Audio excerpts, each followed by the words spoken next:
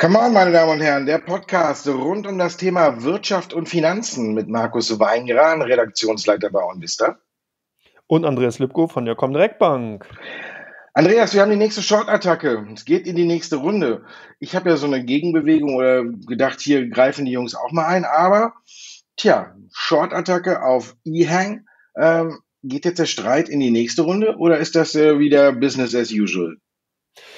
Ja, Markus, ich denke, vielleicht ist hier, kommen zwei Aspekte zusammen, die wir ja schon aus den letzten Börsenjahren auch so mitbekommen haben. Zum einen natürlich ist EHang ein chinesisches Unternehmen und da gab es ja bereits schon auch von anderen Research-Häusern, Muddy Water und ähm, Citron Research, also auch professionelle Shortseller, immer wieder den Hinweis darauf, dass natürlich die Bilanzierungsmethodiken von chinesischen Unternehmen weit äh, entfernt von dem ist, was eben die westlichen Industrienationen kennen. Und von daher ist natürlich dann hier die Möglichkeit gegeben, dass man das wieder aufnimmt. Wir denken an Luck Coffee und an viele andere Unternehmen, teilweise auch im Solarsektor, die hier ja dann eben gerade auch von solchen, wie soll man sagen, ja, Unternehmen, die oder Research-Häusern, die tiefer eben auch in die Unternehmen reinschauen, genau dann eben Unstimmigkeiten nach oben befördert haben. Und des Weiteren darf man nicht vergessen, ich glaube, es ist halt so eine Renaissance generell der Shortseller. Und für mich haben auch die Shortseller an sich ein bisschen zu schlechten Ruf bekommen, weil sie ja auf der anderen Seite schon auch eine marktausgleichende Position haben. Man denkt hier an Wirecard und andere Unternehmen, die ja teilweise wirklich leichteres Spiel auch gerade bei vielen, ich sag mal eher nebulösen oder dubiosen Aktionen gehabt hätten, wenn eben nicht dann wirklich auch eine, eine Möglichkeit bestanden hätte, hier auch dann sozusagen von der Short-Selling-Seite entgegenstehen zu können. Jetzt wird der eine oder andere natürlich aufjaulen und sagen, ja, nee, das kann man prinzipiell so nicht sagen. Klar, wo Licht ist, ist es natürlich auch immer Schatten und es gibt auch viele Short-Selling-Attacken gegen Unternehmen, die durchaus solide sind, die eben aufgrund nur, sag ich mal, vielleicht vom geringeren Handelsvolumen, geringerer Marktkapitalisierung einfach in die Knie gezwungen worden sind und dadurch in arge Bedrängnis bekommen, äh, gekommen sind. Also man sieht, es ist halt schwierig, aber jetzt zurück natürlich auf die Eingangsfrage. Ich glaube tatsächlich, dass hier es in den kommenden Wochen weiter spannend sein und bleiben wird, dass Ihang hier dann ähm, auf jeden Fall jetzt erstmal auf eine Liste gekommen ist, die sehr, sehr viel Aufmerksamkeit natürlich auch äh, bedarf, wo man eben wirklich genau hinschauen muss. Und wie gesagt, für mich sind so ein bisschen natürlich auch die Parallelen, ich sage jetzt mal Stichwort Luck in Coffee schon vorhin, wo man sagen kann, vielleicht wirklich auch ein, äh, ein substanzielles ähm, Geschäftsbusiness oder ein Business insgesamt, Geschäftsbereich, aber vielleicht ein bisschen zu viel heiße Luft drin, oder? Ja, es ist äh, schwierig, ne? Ich habe am ersten Moment auch gedacht, boah, da sind sie wieder zurück und rächen sich oder so in der Art und Weise. Und man muss ja mal, ja, ich habe auch kein Mitleid, wenn sie so wie bei GameStop oder so mal ein bisschen äh, auf die Mütze kriegen, wenn das äh, so exzessiv ist, dass 130 Prozent äh, des Free Flows geschortet sind. Da muss ich sagen, alles gut gemacht.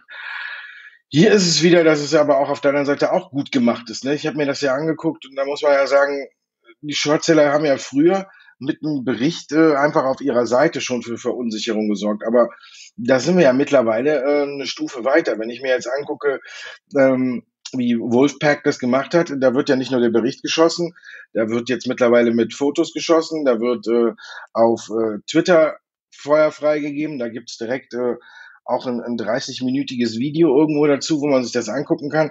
Also wir müssen auch sagen, die Shortseller haben hier, um, um die Leute zu verunsichern, schon Next Level erreicht, wenn man davon irgendwie sprechen kann. Und das macht es natürlich immer schwieriger, tatsächlich auf den ersten Blick zu erkennen, ist es tatsächlich nur jetzt eine gut ausgenutzte Situation oder steckt jetzt noch wirklich was dahinter? Man hat ja hier Fotos gesehen von Yang, äh, wo es eine Produktionsstätte sein soll, die angeblich schon produziert, wo einfach nur das Firmenlogo hängt äh, vor einer äh, leeren Fabrik, wo drin auch noch mal nichts ist. Und sie haben ja noch geschrieben, hier sollte schon längst produziert werden und es ist noch nicht mal ein Arbeiter eingestellt.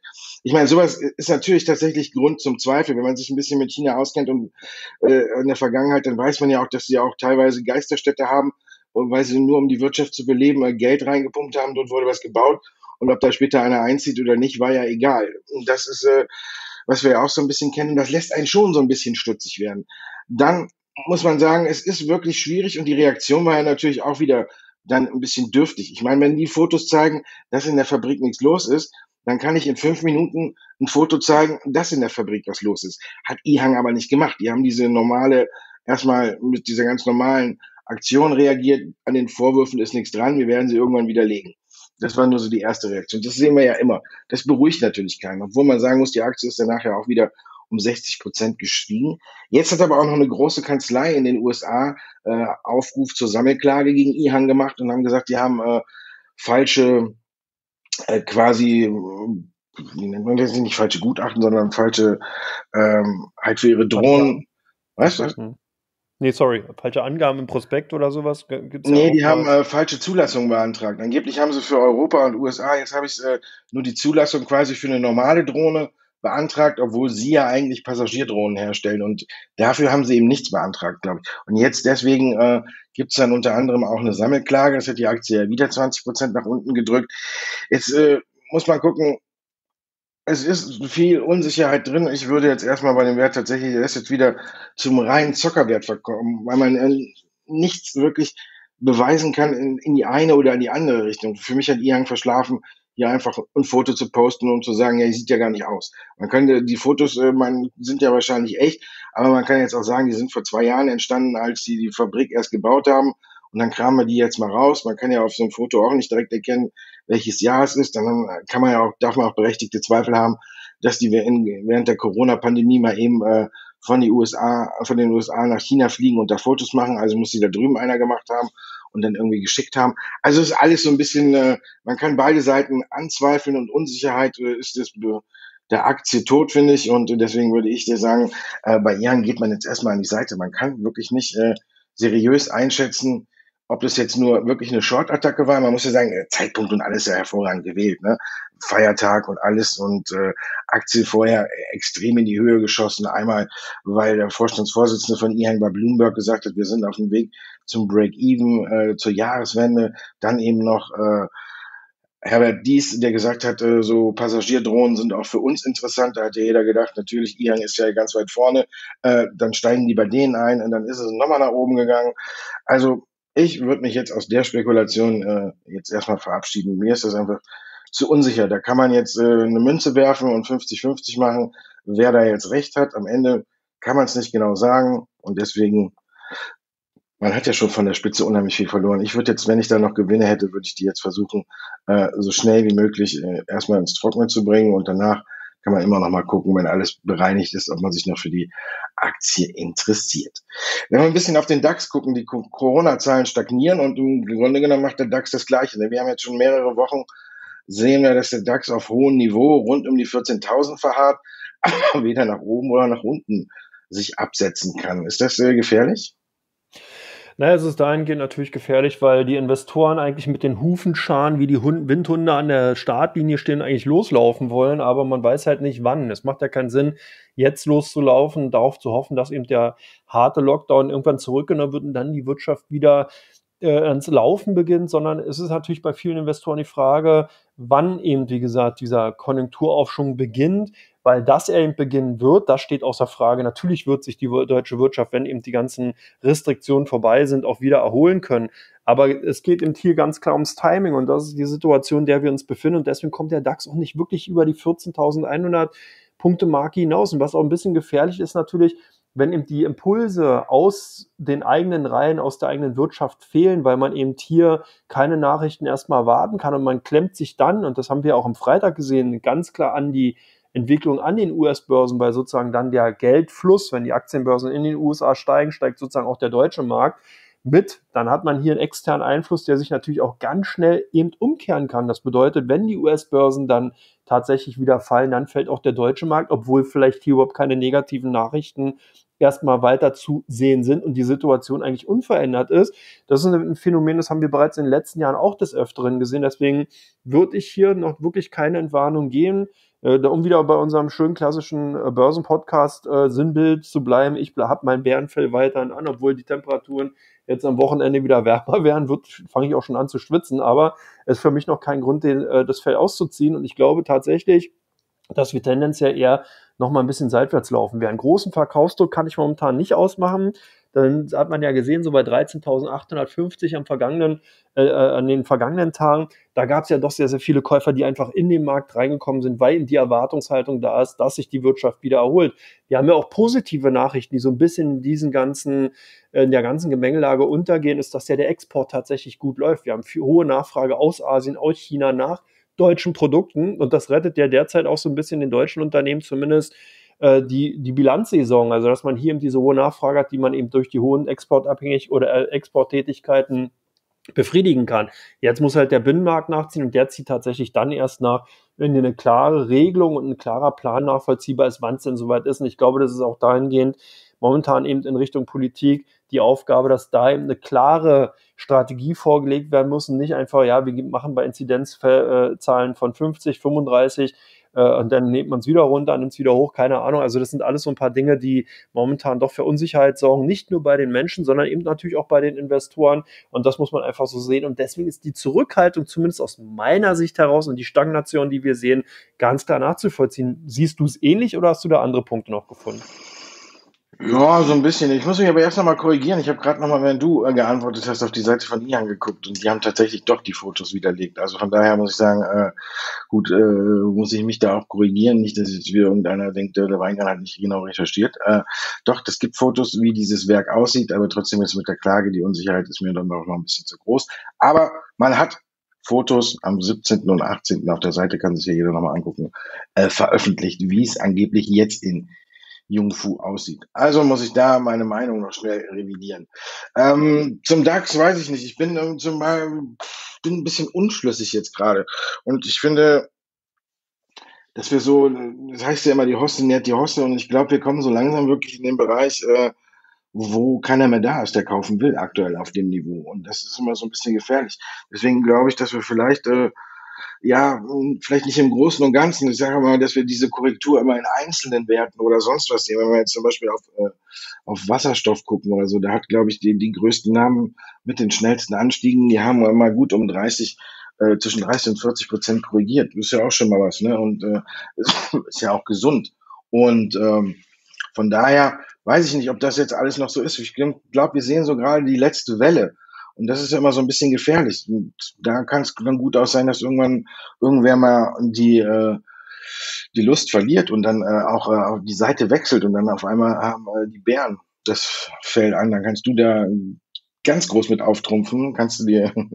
und ähm, ich bin da noch so ein bisschen skeptisch. Jetzt wird auch immer auf den äh, steigenden Zinsen und auf äh, die immer größer werdende Inflation hingewiesen. Ist ja auch alles richtig. Aber ich glaube, ähm, dass die Fed auch hier äh, in weiser Voraussicht äh, ja ihre starre Haltung an die Inflationsziele ja mit Absicht aufgeweicht hat, um jetzt in solchen Fällen, die wir jetzt gerade sehen, wo eben auch äh, das ja auch besonders daran liegt, äh, dass die Inflation steigt, äh, in erster Linie an den Energiepreisen. Das Öl äh, kennt ja zurzeit kein Halten mehr nach oben und äh, der Strom, wie wir in Texas jetzt gesehen haben, wird auch extrem teuer und alles.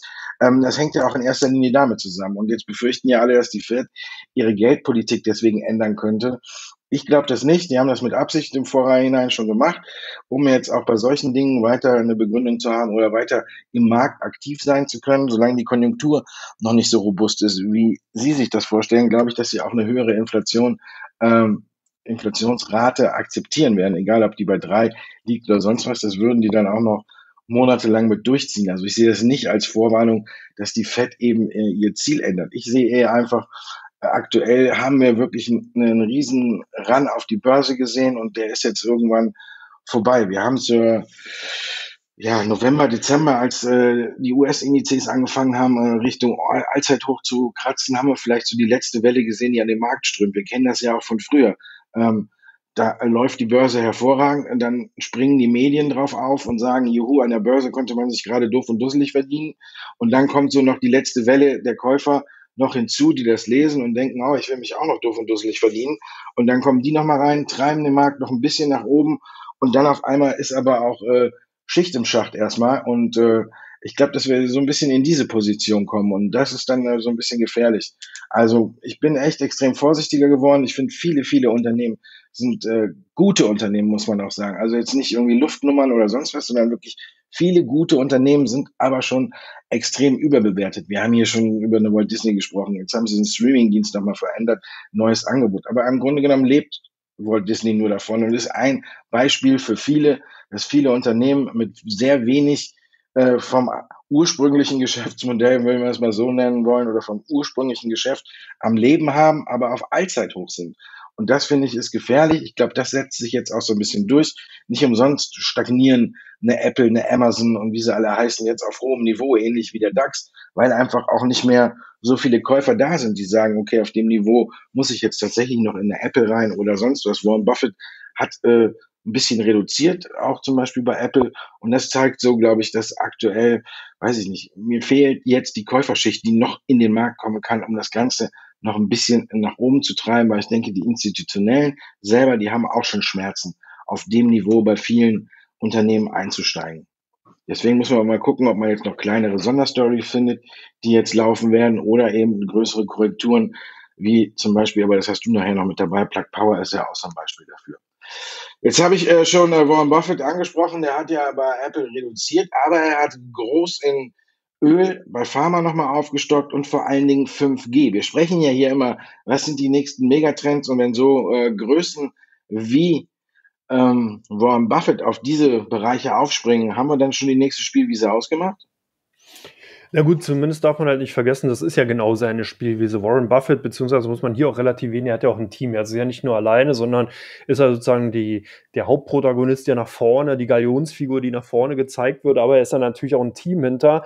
Und das ist nachvollziehbar, was hier passiert ist. Wir haben ja in dem Podcast auch schon öfters drüber gesprochen, dass 2021 und fortfolgend die Jahre dann eben durchaus so eine, Renaissance der Old Economy bedeuten können. Und du hast hier Branchen aufgezählt, die klassische Vertreter aus diesem Sektor oder aus diesem Bereich, äh, Wirtschaftsbereich sind.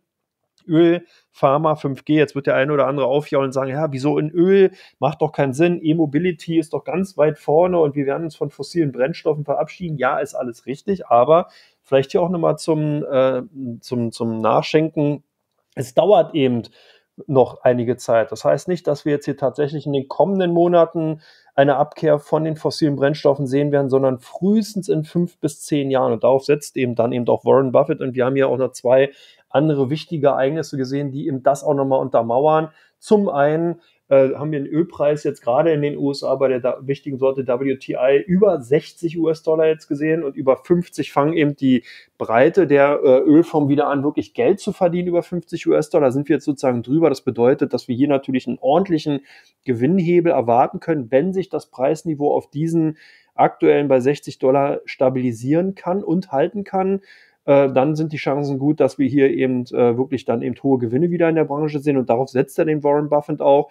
Wir sehen hier teilweise Unternehmen mit sehr, sehr hohen Dividendenrenditen nach wie vor. Das ist ja im Endeffekt auch ein Anlagekriterium, was er auch immer wieder äh, hervorgeholt hat. Des Weiteren, was auch interessant war, sie, wir sehen hier Konsolidierungsbestrebungen. Wir hatten Spekulationen, Chevron mit Exxon. Das ist ja auch nicht aus der hohlen Hand geholt, sondern wir sehen hier wirklich erste Anzeichen dafür, dass tatsächlich so eine, solche Mega-Zusammenschlüsse stattfinden könnten. Das alte Motto, wo auch Rauch ist, ist auch Feuer. Und darauf könnte ich mir vorstellen, wird eben auch hier der Altmeister in der Investitionstätigkeiten setzen.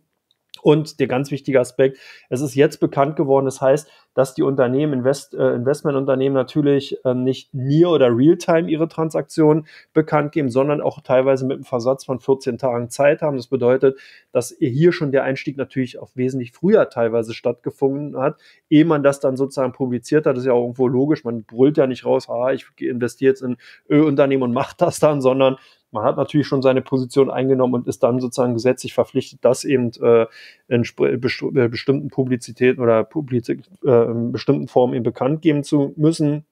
Und von daher nachvollziehbar. Pharma auch natürlich ein ganz, ganz wichtiger Sektor und auch ein ganz äh, klassischer Sektor, eben auch durch die ganzen äh, Themen, Impfstoff und so weiter und so fort, ist hier natürlich auch eine ganz neue Dynamik reinkommen. Um 5G hatten wir an der Stelle auch schon mal drüber gesprochen.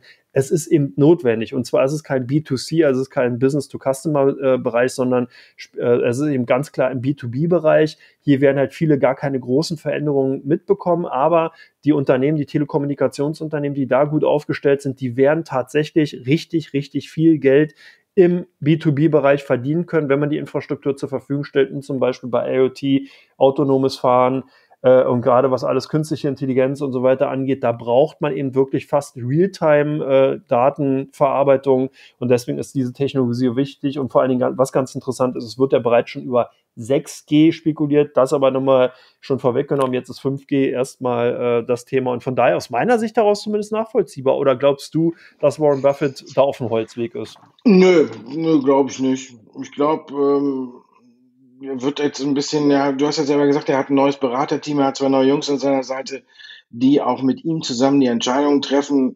Jetzt kann man vielleicht über sein Alter spekulieren und sagen, vielleicht machen die zwei es alleine und wie du schon gesagt hast, der Frontman geht raus und äh, erzählt. Sein Name steht immer noch dafür. Man sieht auch, die Anleger folgen ihm auch immer noch. Also eine Chevron oder Chevron äh, und äh, äh, was hat er noch? Verizon hat er gekauft. Äh, die sind beide äh, gestiegen zwischen drei und fünf Prozent. Bei so großen Werten muss schon sagen, muss man sagen, da folgen ihm immer noch eine ganze Menge. Und Apple war ein bisschen unter Druck, weil er da reduziert hat. Was ich ähm, da sagen muss, ist ganz klar, die Branchen, die er sich ausgesucht hat, die werden noch laufen. Pharma ist immer was wert. Was ich gut finde, ist, äh, er hat sich auch bei Pharma so ein bisschen, er hat bei Pfizer reduziert, hat aber bei AbbVie, äh, Bristol Myers Squibb und äh, Merck aufgestockt. Also jetzt sage ich mal drei Aktien, die in gewisser Weise abseits von Corona laufen. Merck ja nicht ganz so, aber eine App wie und da muss ich sagen, er setzt da auch auf die Zukunft. Kann man alles machen. 5G wissen wir selber, ist äh, immer mehr im Gespräch auch für die Automobilindustrie, wenn die ganzen äh, E-Flitzer kommen, die ja alle ähm, drin auch äh, 5G brauchen, ist das auf jeden Fall ein neues Spielfeld und wird auf jeden Fall ausgebaut werden. Das kann sich dann ja auch keiner mehr erlauben, dass irgendwie das äh, nicht mehr diese Technologie nutzt. Also von daher finde ich klar, hat er alles richtig gemacht. Es wird auch wohl nicht mehr so sein, das, äh, ich glaube, er hat auch seinen Fehler also bei Kraft Heinz, wenn man jetzt drauf guckt, muss man ja sagen, im Grunde genommen hat er ja trotzdem nichts falsch gemacht. Ne? Die sind zwar brutal abgestürzt, aber da zeigt sich auch so ein bisschen wieder, äh, wenn man Geduld hat und Geduld hat und Geduld hat und jetzt mal auf die Aktie von Kraft Heinz guckt, ne, dann ist es ja immer noch äh, ist ja fast schon wieder ausgebügelt. Also so, obwohl es so nach unten ging, muss man sagen, äh, war das ja gar nicht so schlimm, wenn man die Geduld hat, bei so einer Aktie mal. Und das ist ja auch so ein Vergleich mit der mit der neuen Jugend, die ja ziemlich schnell immer hin und her, ne? Und äh, Aktie fällt mal drei oder vier oder fünf Prozent und dann muss die eigentlich direkt schon wieder raus. Oder warum steigt meine Aktie heute nicht um zehn Prozent? Was ist da los? Und äh, wenn man sich so Kraft 1 anguckt, geht's wieder auf einen guten, es ist jetzt wieder auf einen guten Weg. Natürlich sind noch äh, fünf Jahressicht 50 Prozent unter Wert, aber wenn wir überlegen, wie viel das vorher war, ähm, ich glaube, das wird sich jetzt auszahlen. Ihr habt jetzt halt den Widerstand gebrochen und Kraft Heinz ist auch eine Sache, wo er bald irgendwann wieder auf ein anderes Niveau kommen wird, bevor wir diesen Abrutscher hatten. Also ich denke, wenn man hier Geduld hat, ist es auch nicht schlecht. Und das zeigt einfach, dass wir hier so ein bisschen quasi auch, äh, wenn wir es mal auf Economy beziehen, äh, Old Economy mit äh, Young Economy zusammengeht. Ich hätte mir gewünscht, der Buffett hätte sich ein äh, Bitcoin noch gekauft. Dann wäre das Ding, glaube ich, dann extrem durch die Decke gegangen, wenn jetzt auf einmal auch noch Warren Buffett gesagt hätte, ähm, Bitcoin ist mein Ding oder die Jungs, die ihn beraten, haben ihm gesagt, Junge, wir müssen auch auf Bitcoin setzen. Dann glaube ich, wenn der Bitcoin äh, jetzt schon noch höher als er eh ist, wir sind ja schon irgendwie bei 55, ist ja unaufhörbar. Entschuldigung. Und was ich äh, noch interessant finde, ist, er hat ähm, Barry Gold komplett wieder rausgeworfen. Buffett war ja nie ein Fan so richtig von Gold. Und jetzt äh, mit der Beratung von seinen Jungs ist er ja mal bei Barry Gold eingestiegen, aber die Position hat er wieder komplett aufgelöst.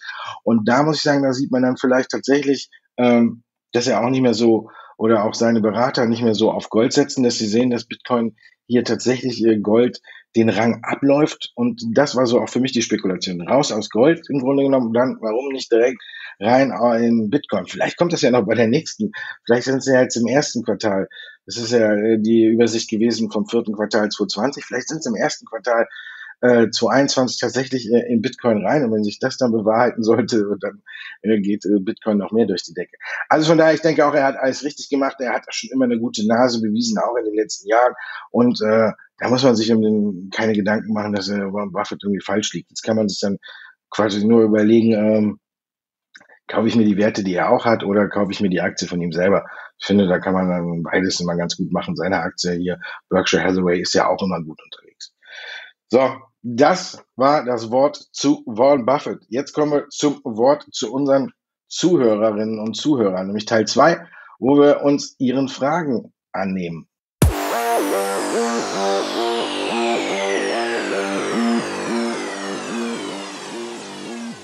Teil 2 von Come On, meine Damen und Herren. Wir kümmern uns um Ihre Fragen, die Sie uns geschickt haben und direkt zu Anfang kümmern wir uns quasi um VW Schrägstrich Porsche. Soll an die Börse gebracht werden, vielleicht zum Jahreswechsel.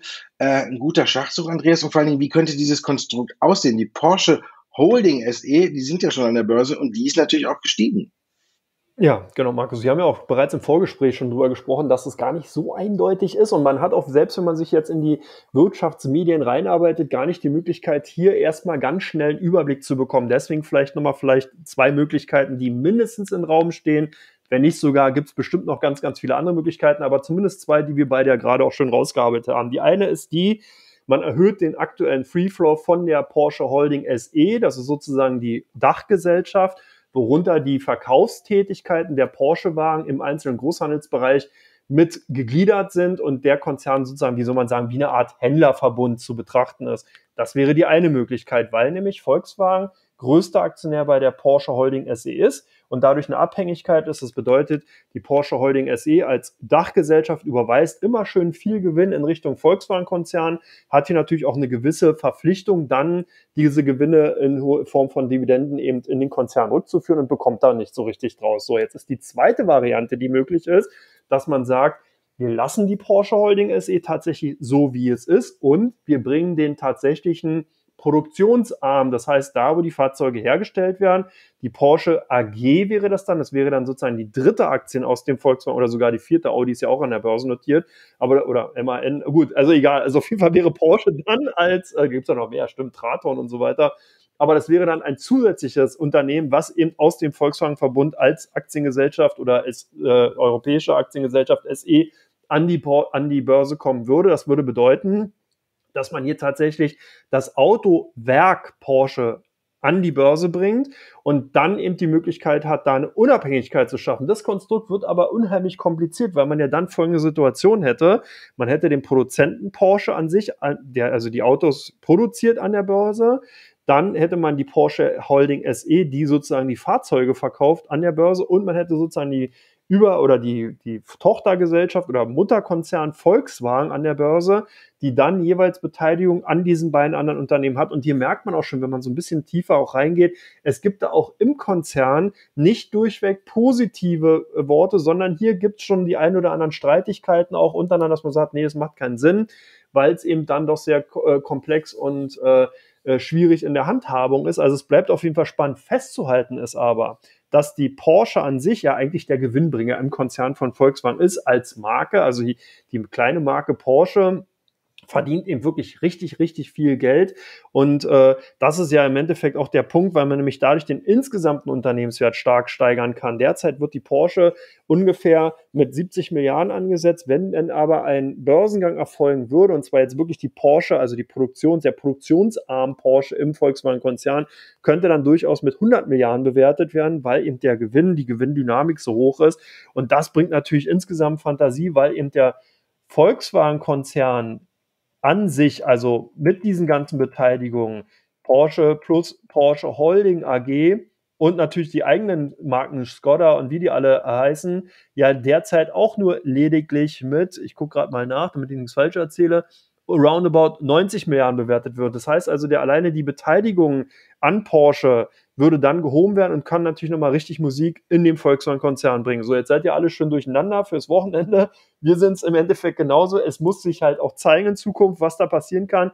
Jetzt auch nochmal direkt auf die Frage, die gestellt worden ist. Ja, es wäre ein guter Schachzug. Das würde aus meiner Sicht heraus sowohl den Unternehmenswert Volkswagen etwas bringen, und zwar würde der sich natürlich steigern durch die Beteiligung, als auch für Porsche durchaus wünschenswert, weil man hier eine höhere Unabhängigkeit von Volkswagen, von dem Konzern erreichen würde. Man würde sich hier auch besser aufstellen können aus meiner Sicht heraus. Und das zeigt es auch zum Beispiel, wenn man sich Siemens anguckt, bringt das einfach eine viel schnellere Wendigkeit mit. Man kann hier schnelle Modelle äh, äh in den Markt bringen, man kann hier schneller agieren. Also ich würde den, äh, den, den Schachzug durchaus als gut befürworten. Deine ganze Unsicherheit da drin jetzt, der hat jetzt bestimmt jeden äh, Shortseller hellhörig werden lassen. Ne? Hast du ja jetzt ein äh, äh, Spitz super Szenario beschrieben für man blickt nicht mehr durch und äh, da kommen die direkt, ne? Aber äh, wenn es kommt, äh, nicht davon verrückt machen lassen.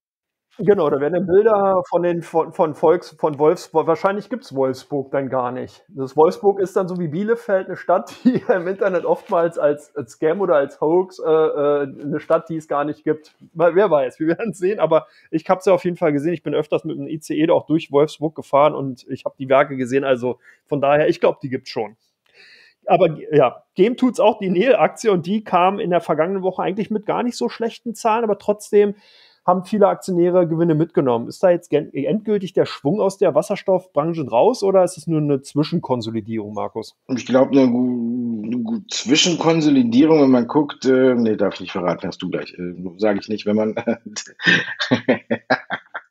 äh, müssen wir nachher dann äh, das noch klären. Also auf jeden Fall hatten wir zuletzt eine etwas schlechtere Stimmung. Auch so ähnlich, wie ich es eben auch schon beschrieben habe, war es, glaube ich, auch beim Wasserstoff. Wir hatten den Hype in Europa losgetreten und die hatten die Politiker, haben wir ja oft genug hier schon durchgekaut, auch dafür gesorgt, dass äh, ja im Grunde genommen Wasserstoff jetzt das Allheilmittel äh, für äh, gegen die Klimakrise ist und da waren die ganzen Aktien gehypt und dann ist der alles noch in die USA übergeschwappt und da haben wir so die letzte Welle von Käufer gesehen. Und jetzt hat das Ganze wirklich richtig konsolidiert. Und in so einer Phase, wo ähm, die Stimmung gerade in der Branche nicht ganz so gut ist, wo auch viele Anleger ihre Gewinne sichern, äh, ist halt Neil mit seinen Zahlen reingekommen. Nächste Woche übrigens äh, kommen die Zahlen von Plug Power am 25. Da sollte man dann auch genau hingucken. Ähm, wie du schon sagtest, es gibt Licht und Schatten in der Bilanz. Im Grunde genommen gibt es das übliche Licht.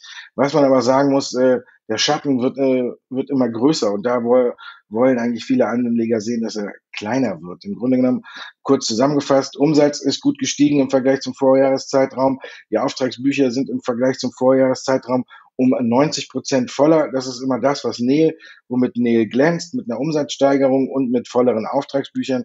Wenn man jetzt äh, Q4 mit Q3 vergleicht, sind die Auftragsbücher aber eben nur noch um fünf Prozent angewachsen. Also da fangen wir schon so ein bisschen mit dem Aber an, da könnte man noch ein bisschen mit leben. Aber wenn man dann aufs EBITDA schaut, dann sieht man, dass sich das Minus hier mehr als verdoppelt hat. Wenn wir auf das Ergebnis unter, unterm Strich gucken, sieht man auch, dass es sich in Q4 im Vergleich zum Vorjahreszeitraum auch mehr als verdoppelt hat und zwar im negativen Sinne, also mit Minus.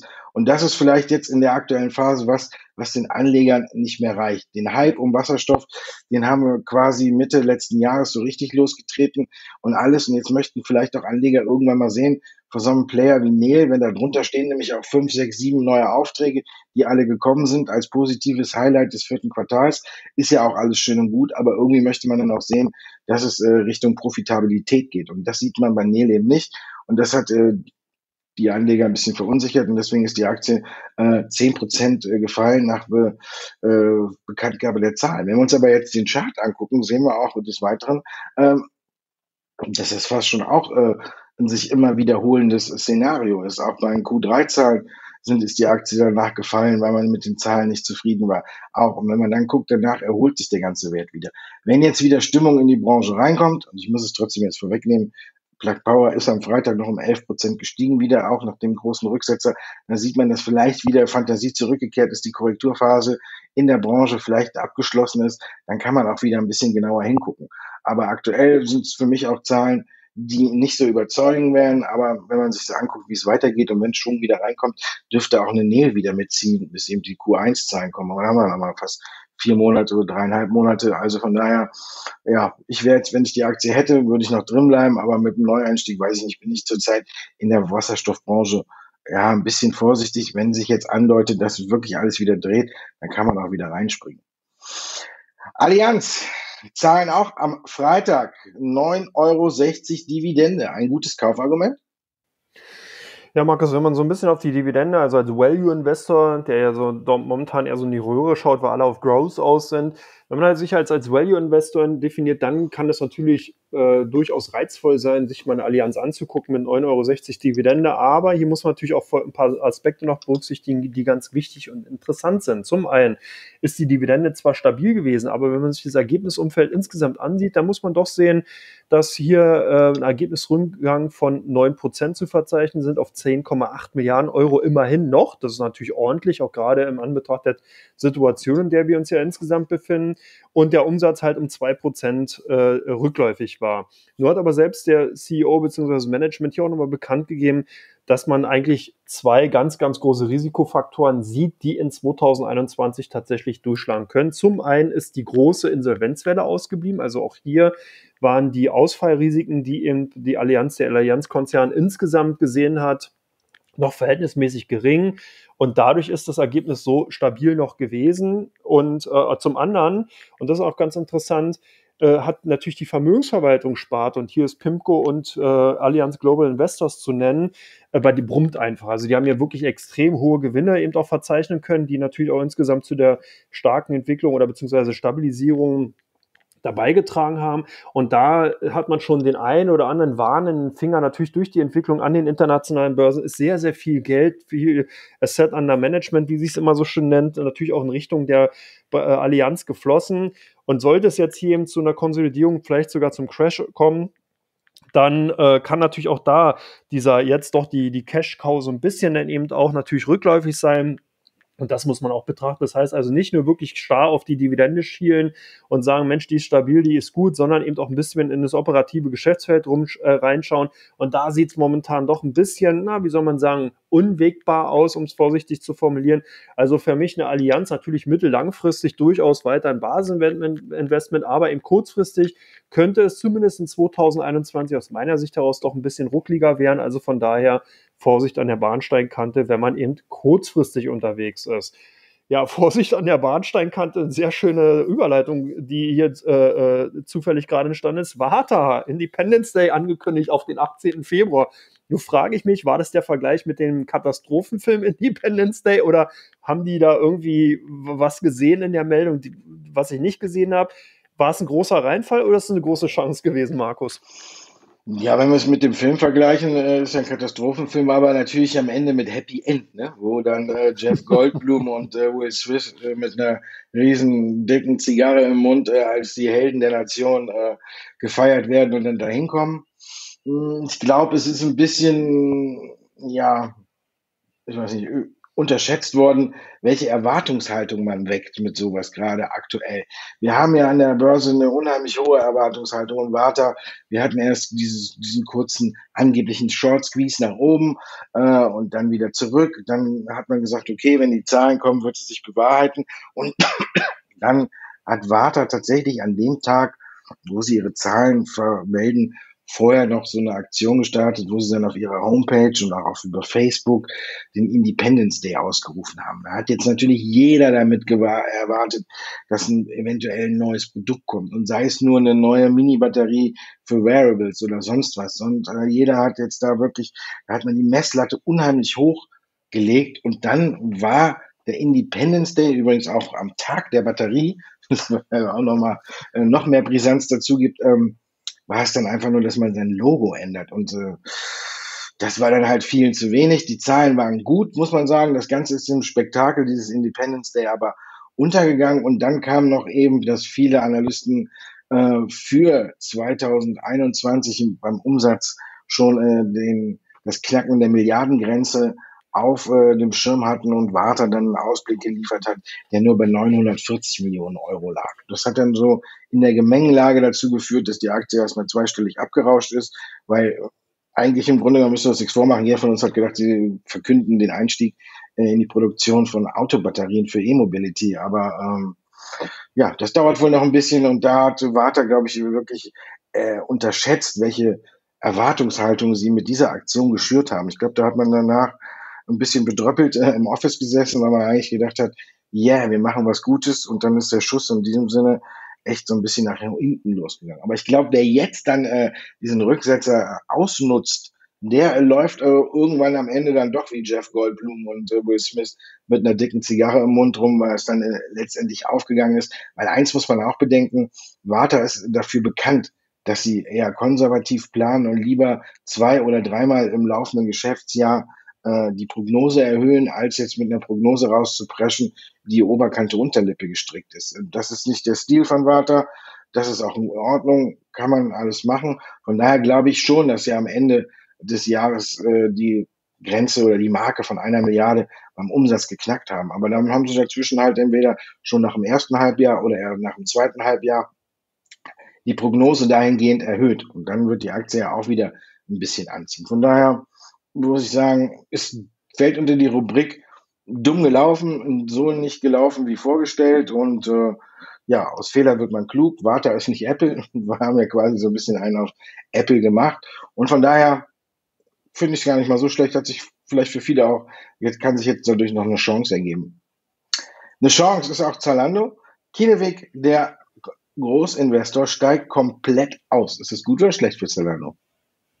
Ja, eine schöne Frage. Also hier kann man natürlich pauschal nicht sagen, ob, ein, wenn der Ausstieg eines Großinvestors stattfindet oder verkündet wird, ob es denn tatsächlich gut oder schlecht ist, da sind wir auch schon wieder so ein bisschen bei der Frage mit Porsche. Es kann gut sein, weil man natürlich dann eben auch wieder eine Unabhängigkeit, größeren Freeflow, größere Aktionärsbreite hat und sozusagen keinen beherrschenden Ankerinvestor mehr drin, kann aber auch teilweise schlecht sein. Bei Zalando, denke ich, muss man sich halt auch den Grund dafür anschauen und Kinweg ist halt äh, nach eigener Definition eher ein Investor, der in Frühphasen bei Unternehmen einsteigt, also bei jungen, wilden Unternehmen und da eben die Wachstumschancen, die sich daraus ergeben, einfach wahrnehmen will. Und wenn man halt sieht, dass Zalando ja doch hier schon ein in die Jahre gekommenes Technologieunternehmen ist, was jetzt nicht schlecht ist, sondern schon natürlich auch eine gewisse Marktreife jetzt hat, dann findet sich Kinneweg hier vom Investmentansatz einfach nicht mehr wieder. Und so wurde es ja auch dann publiziert, beziehungsweise so hat man es eben kommuniziert, dass man eigentlich äh, sich eben von der Beteiligung 21 Prozent hält man eben an Zalando ähm, äh, sozusagen jetzt dann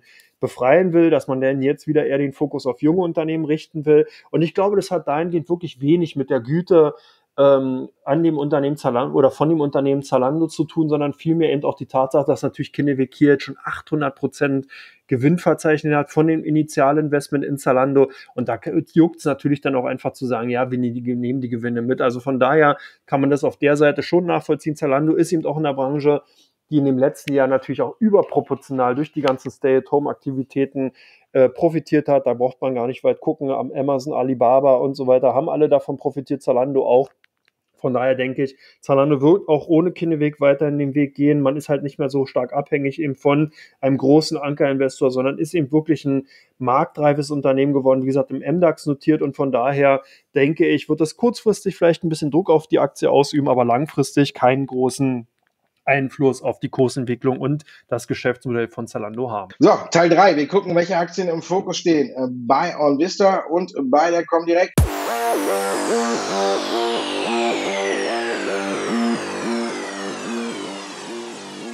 Auch wenn ich mich wiederhole, wir sind bei Teil 3. Ne? Und da gucken wir erst auf Xiaomi. Xiaomi, die sind bei der Comdirect im Fokus. In welche Richtung? Ja, gesucht, Markus. Da haben wir ja doch einige interessante Nachrichten in den letzten Tagen auch gesehen und Spekulationen gehört. Im Vorfeld waren die Aktien ja eher so ein bisschen auch unter Druck gekommen, beziehungsweise haben Konsolidierung eben vollzogen in den letzten Wochen, weil man eben nicht wusste, ja, wie geht das jetzt weiter? Chinesische Aktien in den USA, Technologieunternehmen etc. Da sind sie eben doch ein bisschen seitwärts gelaufen, beziehungsweise haben doch die ein oder anderen Kurs äh, Verluste hinnehmen müssen. Und in den letzten Tagen gab es dann nochmal so eine richtige Neudynamik, neuen Schwung. Zwei Aspekte, die ich finden konnte. Zum einen das neue Xiaomi äh, Telefon Mi 11, was direkt äh, von der ähm, Technologiepresse gelobt und hochgehoben wurde als richtiger Konkurrent eben zu in Richtung Samsung und ähm, Apple. Und natürlich, was denke ich mal die wirkliche Hammermeldung war, der angebliche oder geplante Einstieg in die Fahrzeugproduktion, der natürlich dann, dann dafür gesorgt hat, dass hier richtig Fantasie reinkommt. Ist nicht das erste chinesische Unternehmen, was diesen Schritt erwägt. Wir haben es bereits bei Baidu und bei anderen Technologiekonzernen gesehen, wo diese Spekulation da ist und für richtig heftige Kursgewinne gesorgt hat. Palantir, da war ja auch einiges los, Markus. Bei euch gesucht, die Gründe? Früher hat man böse gesagt, ne, wenn nichts wird, wird, wird, ne? Und jetzt finde ich, äh, wenn ich's, äh, ich will es ja alles nicht unter den Scheffel stellen, aber wer jetzt alles ein Auto bauen will, irgendwie ist mir das Ganze ein bisschen zu viel. Ja, Palantir äh, baut kein Auto, da haben wir nochmal Glück gehabt. Die haben jedenfalls noch nicht bekannt gegeben, dass sie Autos bauen. Die sind am Freitag wieder äh, nach oben geschossen. Alle haben natürlich geguckt, warum die Aktie äh, so viel verloren hat in der letzten Zeit. Muss äh, sagen, ähm, in dieser Woche, ich glaube Donnerstag sogar, ist die quasi die Lock Abphase ausgelaufen. Die haben ja nicht den, den normalen Weg an die Börse gewählt. Und deswegen war bei allen, die schon Aktien hatten, irgendwie so eine Klausel drin, dass sie bis zum dem Tag bis Donnerstag nur 20 Prozent ihrer Anteile quasi in Cash umwandeln konnten. Und äh, seit vergangener Woche ist es halt so, dass jetzt jeder seinen Cash-Anteil äh, selbst bestimmen kann und so viele Aktien in den Markt schmeißen kann, wie er möchte. Und deswegen ist die Aktie da natürlich, was wahrscheinlich auch einige gemacht haben, direkt mal ein Stück nach unten gerauscht. Jetzt ist sie dann am Freitag wieder auch 11 Prozent nach oben gegangen. Also ähm, ich finde, wenn man sich den Ausblick anguckt, die Zahlen haben ja auch so ein bisschen belastet, wenn man äh, negatives, äh, also unterm Strich einen Verlust hatte, der so nicht erwartet wurde, hatte man schon mit einem Plus gerechnet im vierten Quartal. Ich finde, wir haben jetzt hier ein ganz schönes Niveau, wo man sich die Aktie tatsächlich ganz weit oben auf die Watchlist legen sollte. Und was machen die Leute bei euch mit Moderna? Ja, die werden auch gekauft. Natürlich ist das Impfstoffthema wieder in aller Munde. Hier Nachbestellung von der EU, nicht nur bei AstraZeneca, sondern generell bei den ganzen Impfstoffproduzenten. Und da gucken natürlich viele Investoren bzw. Kunden dann auch von der Comdirect, welche Unternehmen werden immer wieder genannt. Es sind natürlich auch dann die Aktien von Moderna und demzufolge auch bei uns heute in dieser Woche unter den Top-Titeln bei den meistgehandelten Werten. Kali und Salz, da war ja auch wieder einiges los. Kali und Salz, Gott erhalt. Ne? Die BaFin denkt anders. hat äh, eine Sonderprüfung angeordnet äh, des Geschäftsberichts für 2019 und fürs erste Halbjahr 2020. Ja, die BaFin zieht die Zügel an. K&S bekommt jetzt äh, zu spüren. Ob was dran ist oder nicht, ist jetzt wieder reine Spekulation. Aber wir wissen natürlich auch, was so eine Nachricht mit dem Kurs anstellt. Und wir haben es auch gesehen, die Erholung bei K plus S ist erstmal vorbei. BaFin überprüft. Man muss gucken, ob was dran ist oder nicht. Ähnlich wie bei eHang haben wir jetzt hier äh, eine Unsicherheit im Markt und deswegen würde ich die Aktie erstmal auf meiner Watchliste ganz äh, nach unten setzen. Du hast mir im Vorfeld schon gesagt, ne? wir gucken ja, ob im Wasserstoffbereich äh, die Konsolidierungsphase oder die Korrekturphase vorbei ist. Wenn du so ein bisschen bei euch äh, reinguckst und auch auf Plug Power guckst, kann man dann sagen, ist vorbei, die greifen wieder versteckt zu? Ja, zumindest ist interessant, genau. Ich habe Plug Power einfach mal exemplarisch reingenommen, weil wir, weil ich gesehen habe, dass unter den Top 10 oder beziehungsweise Top 7 der ausländischen Aktien alleine fünf Aktien aus dem Wasserstoffsektor zu finden sind. Das ist halt Plug Power natürlich, Nel, Ballard Power, Fuel Cell Energy und ITM Power. Und deswegen habe ich die Plug Power halt auch nochmal mit, mit reingenommen, weil auf der einen Seite kann er natürlich schon so ein bisschen unheimlich werden, weil dieses Thema wirklich so omnipräsent ist. Wir haben es ja bereits auch vorhin bei den, bei im Teil 2 zu Neil halt schon besprochen oder du zumindest. Und es zeigt sich eben auch generell im Sektor. Die Nachfrage beziehungsweise die Handelsaktivitäten bei diesen Aktien ist verdammt hoch. Und das kann auf der einen Seite gut sein, aber eben auch ein Warnzeichen.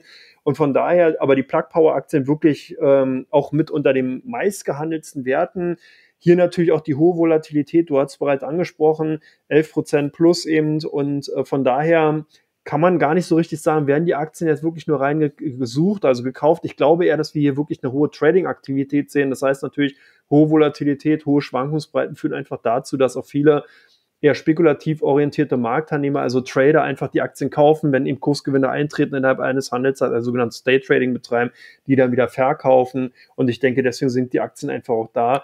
Äh, die Nachfrage oder beziehungsweise das Interesse für diesen Sektor ist einfach momentan ganz klar spürbar. Und wir gehen jetzt gechillt in das Wochenende sozusagen und auch mit einer Branche, die sehr stark gefragt ist, und zwar Cannabis-Aktien. Und hier hast du explizit Tilray genannt.